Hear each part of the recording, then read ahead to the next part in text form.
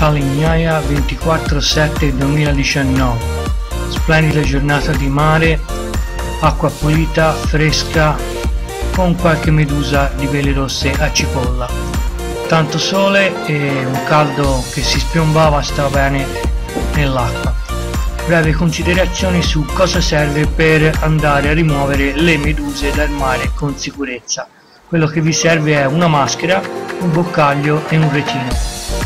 La maschera è indispensabile perché vi permette di vedere con uh, chiarezza sott'acqua e di proteggervi il volto da inattesi e pericolosi scontri con le meduse rosse a cipolla che fanno un male boia e se si inciampate vi ci rimane il trincio per una settimana sulla pelle.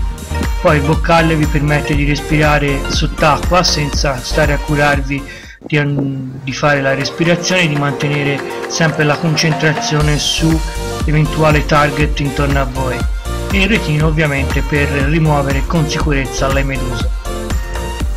Alla dotazione minima è caldamente consigliato aggiungere una muta shorty e dei guanti da sub. I guanti da sub vi proteggeranno dal rischio di rimanere ustionati che a volte capita nonostante il retino sulle mani o, su, o sui bracci e quindi sono un dispositivo di sicurezza importante da, da disporre.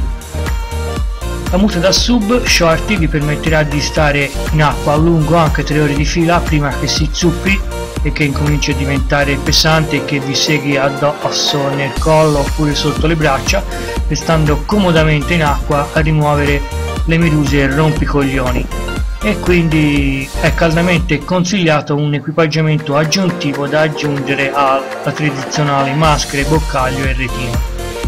Ciao!